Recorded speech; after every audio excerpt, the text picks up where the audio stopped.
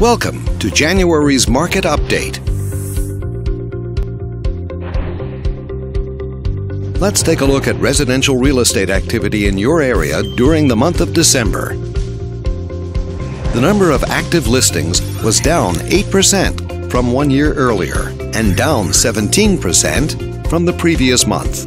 This smaller inventory means that buyers who waited to buy may have had a smaller selection to choose from.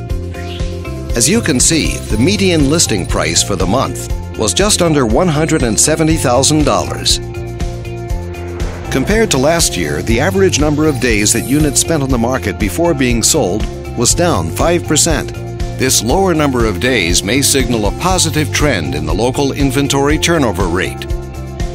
The median sale price was just under $180,000. The number of units sold decreased 7% year over year and increased 26% month over month. Despite a slight annual decrease, this upward monthly sales trend indicates positive momentum. Thanks for watching.